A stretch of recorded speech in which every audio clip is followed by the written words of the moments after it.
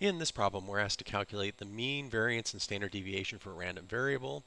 We're given the probability distribution of the random variable. So here are the formulas for the mean right here and the variance right here. And we get the standard deviation by just taking the square root of the variance.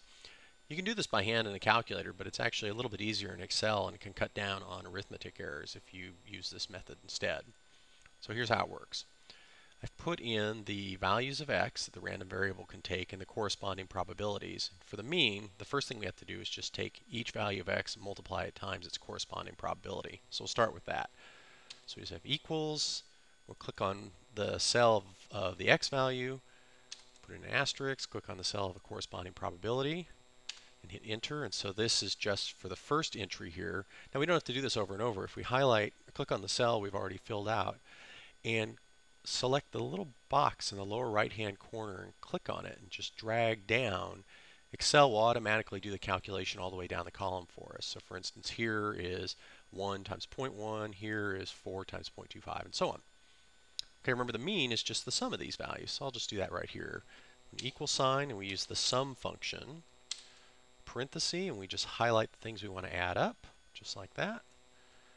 The close paren, and then just hit enter and there we have it. So right there is the mean. Okay, now finding the variance is a little more complicated. Remember what the formula looks like here.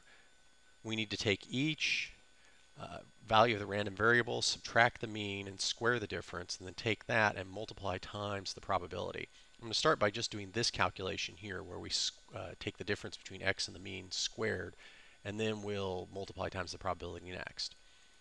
All right, so the first step is x minus mu. So let's see here. For this, do equals a paren. Here's the x value over here. And I'm just going to type in the mean. It's not complicated, 5.05. Close parenthesis, then hat 2, so to square it, and hit enter. And again, we want this all the way down. We want to do 1 minus the mean quantity squared, 4 minus the mean quantity squared, and so on. So I'll just click on the one we've already done, grab the lower right-hand box, drag down to the end, and we get all the values. Now we're not done yet because we have to take these values and multiply times the corresponding probabilities. So we'll go to the next column over and do that. So here we want to take, let's see, x minus mu squared, which is that value right there, and then multiply times the probability of x. Right there. Hit enter. And again, we just want to copy this all the way down. So we'll repeat this computation, drag down like that. And the last thing to do then to compute the variance is just add them up.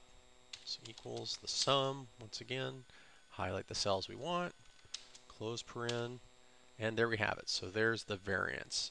Finally, the standard deviation is just the square root of the variance, so we can just stick that right here. Click on the cell we want, close paren, and there we have it right there we get the standard deviation.